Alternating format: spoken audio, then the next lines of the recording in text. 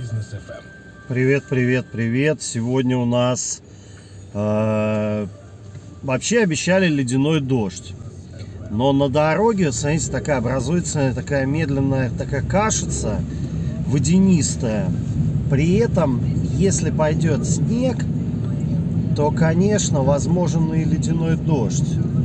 Потому что за ночь, например, так как вчера было подтаяно все, на автомобиле просто все таким, знаете, тоненьким слоем льда покрылись стекла, ну и корпус сам, да, машины. Это есть. А, соответственно, все-таки минус на улице, ну, наверное, минус 6, минус 7 примерно. Если пойдет вот этот дождь, то тогда вот оно и случится. Вот видите, как машина едет, и у нее вот оттерта только часть, часть, часть стекла, чтобы видеть, да, что, что куда ехать. И дальше он просто не, не стал тереть на своем, на Рено вот этом флюенсе. А зачем дальше тереть? Оно само потом отойдет. И реально, оно отойдет, вот это все попозже, когда машина прогреется, это все отойдет. Поэтому вот такая. Вот он сейчас сюда вот станет и будет налево, блядь, поворачивать. Сука. Зачем так делать? Они выезжают из этого, как называется, из кармана и в левый ряд щемятся, чтобы налево тут начать поворачивать. Ну, господи. Получается, я ехал, вот уже светофор, сейчас поеду, да, оно хопа. И все, мне приходится перестраиваться. На улице достаточно так морозно. Я пока протирал щеточкой машину, то есть снега никакого не было этим самым. Ночью никакого снега не было, потому что машина ну, не занесена совсем. Лишь покрыта вот этим корочкой небольшой, вот ледяной корочкой. Не более того. И камера фокусируется то на капли, да, вот, то когда протрешь, она фокусируется на дорогу. А так, конечно, она видит капли, да, и поэтому, грубо говоря, фокусировка на ближайший объект. Из-за этого может, ну, четкое изображение быть, так как вот здесь вот надо мне защемиться вправо. Вот он тоже на Тойоте, у него также почищена только часть. что в левом ряду там стрелка. Это Лени Голикова. И по этой стрелке, ну, только налево можно ехать, когда она зеленым. А прямо будет гореть сейчас красным, вот она загорелась. И прямо уже ехать нельзя, ни налево нельзя ехать. Потому что нужно ждать стрелку. А в этом ряду, пожалуйста, едем. Едем вперед по плану. Ну, а здесь вот рекомендуется, конечно, перестроиться в этот ряд хоть, хоть и дальше на перекрестке я буду перестраиваться в правый, потому что здесь правый, вот еще крайне правые, они могут ползти направо к метро.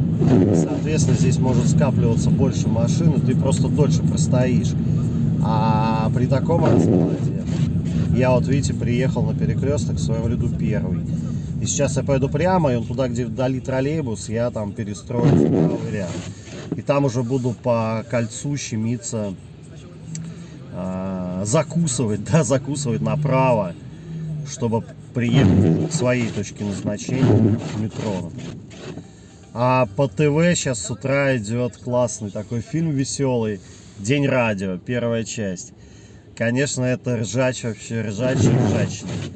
И я поехал, жаль, что не смог сейчас посмотреть, только начало, как они собирались на пароход, и все.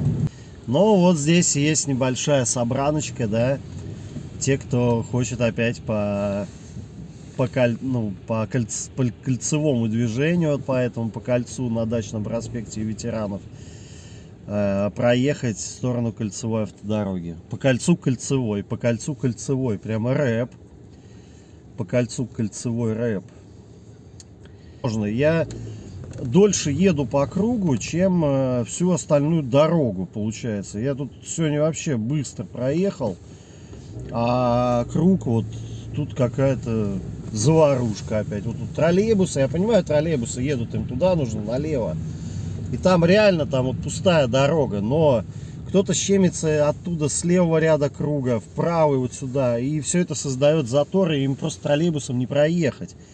Это все понятно. Ну так а как? Сделайте какое-то ну, органичное движение здесь на круге, потому что люди не понимают, кого они должны пропускать, думают, что они на главной дороге едут, а они на самом деле не на главной, потому что троллейбусы вот эти, которые тут сейчас стоят справа, они по главной дороге едут, там на круге стоит главная дорога, а им приходится щемиться и ждать там кого-то, кто их там пропустит, помолясь, как говорится. Почему так должно происходить? Тем более это общественный транспорт, который э, в приоритете в движении, в любом случае. А автомобилисты их нифига не пропускают. Вот и вся проблема, на этом круге в том числе.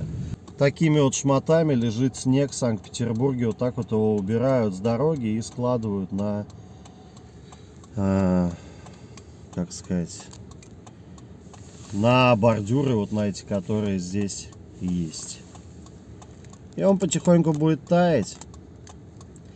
Не думаю, что кто-то его будет отсюда вывозить и убирать. Вот честно. А мы поворачиваем во двор. И что же мы видим?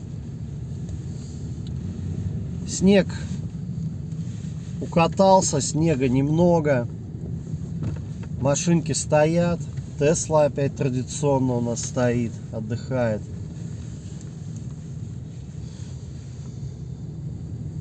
Какой-то дядька с тележкой. Вот эти две машины, что они тут стоят? Вот это BMW и вот вторая, три семерки в номере. Непонятно. Уже тут стоят какую неделю. Куда люди-то делись?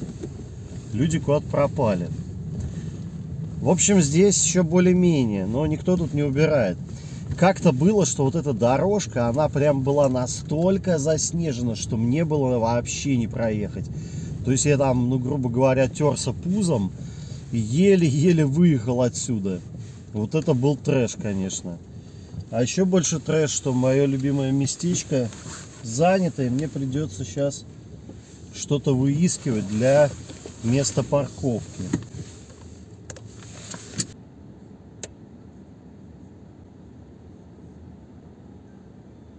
Я у метро ветеранов.